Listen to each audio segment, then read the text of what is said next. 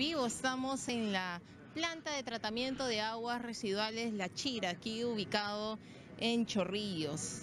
En este momento estamos viendo cuál es el trabajo de esta planta de tratamiento. Este lugar filtra el agua de seis distritos que están siendo beneficiados, que son San Isidro, Miraflores, Santiago de Surco, Barranco, Chorrillos y Villa El Salvador. En este lugar el agua servida es conducida por un nuevo túnel y canal hasta la planta de tratamiento de aguas residuales.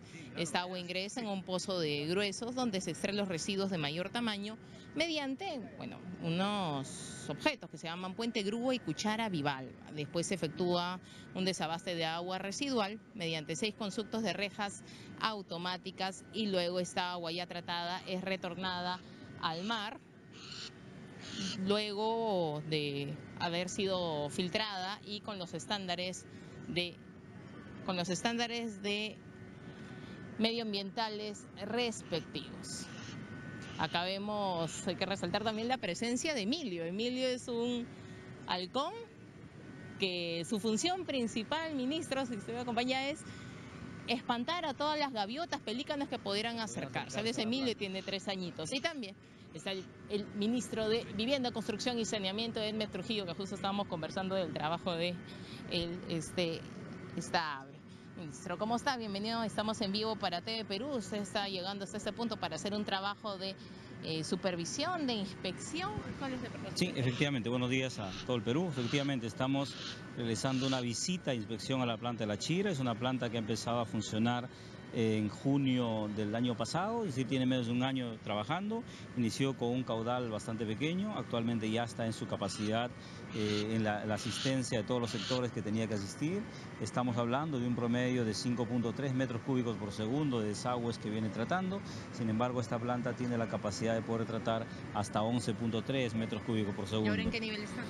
Está con una media de 5.3 metros cúbicos por segundo, una cantidad muy grande de, de desagües, estamos justo acá en las instalaciones y estamos viendo, viendo esto. Eh, la inspección además tiene como propósito conocer cómo está el sistema porque dentro de la evaluación de la solución del problema de tratamiento de aguas servidas en Lima se plantea además la ampliación de la capacidad de esta planta. Esta planta debe recibir mayor cantidad de desagüe, es decir, ampliar o atender la demanda que sigue creciendo en los distritos que actualmente atiende, que son los distritos del sur y también algunos otros distritos cercanos. Entonces es un trabajo de visita, inspección bastante importante y, ministro, coméntenos, ¿hay posibilidades de poder ampliar el número de distritos en los cuales podrían pasar el agua acá a La Chira?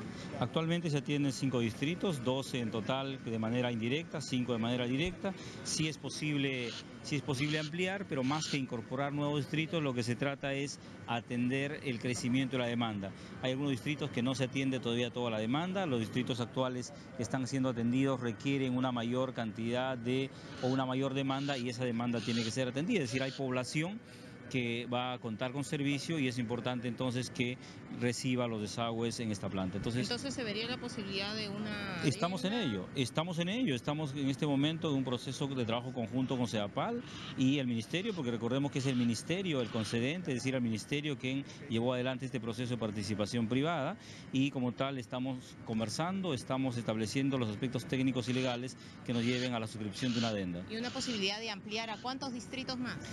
En el fondo mantener la misma cantidad de distritos, los 12 distritos, sino que atender mayores zonas, zonas de esos distritos que actualmente se atienden que no están atendidos todavía. Ah, claro, porque justo yo mencionaba hace un instante de que son seis distritos, pero son los que son beneficiados de manera directa, pero hay 12 que se, se atienden ya de manera indirecta. Entonces, en los mismos sectores, en los mismos distritos de atención directa, inclusive hay zonas de ampliación, zonas de crecimiento que tienen que ser atendidos. Y en los demás distritos atendidos de manera, de manera parcial también tienen que ser atendidos de mayor, de, ampliar la, la, atención porque hay una mayor demanda. ¿no? Entonces, ministro, y en otros temas, ¿cómo se está trabajando, cómo está trabajando su sector en referencia a las casas que están siendo perjudicadas, que muchas, algunas ya vemos que están a punto de caerse, otras que ya se cayeron a raíz de los huaicos y desbordes? Bueno, es un tema bastante complicado. la intervención del Estado se da por varios niveles. Un nivel obviamente inicial es el nivel de, urgencia, de emergencia que se atiende a través de INDECI con carpas y algunas formas de protección de las personas. Nuestra intervención viene enseguida y hace primero la evaluación detallada de cuál es el nivel de los daños. Y nuestra intervención consiste ya finalmente para la reconstrucción en el apoyo a través de nuestros programas de vivienda. Hemos indicado que techo propio en su modalidad de construcción en sitio propio y en la modalidad de reforzamiento de viviendas va a ser el mecanismo que va a permitir apoyar a la reconstrucción. Siempre vamos a exigir, sí, un requisito fundamental, que la vivienda que se reconstruya o que se refuerce se ubique en zonas de, eh, que no sean de alto riesgo o de riesgo no mitigable. Nos interesa mucho ello porque no cabe duda que el gran problema tiene que ver con la construcción de viviendas en zonas de riesgo, cosa que no debiera suceder. Hay una tarea pendiente ahí de las autoridades, sobre todo los alcaldes que se encargan de la planificación del crecimiento de las ciudades. Listo, muchísimas gracias, gracias. Trujillo, ministro de Vivienda, Construcción y Saneamiento. Y bien, estamos aquí en la planta de tratamiento de aguas residuales La Chile. Nos vamos a despedir este enlace con Emilia, esta ave preciosa. Tiene tres años viviendo acá en la planta de tratamiento La Chira. Un saludo acá para todas las personas que están viendo este enlace para ustedes, Jennifer Enrique también. La función principal de Enrique es espantar a todas las gaviotas y pelícanos que lleguen a este punto. Es la información que tenemos aquí en esta transmisión en vivo. Emilio también les mando un último saludo desde aquí, de la planta de tratamiento de aguas residuales aquí en La Chira, en Chorrillos.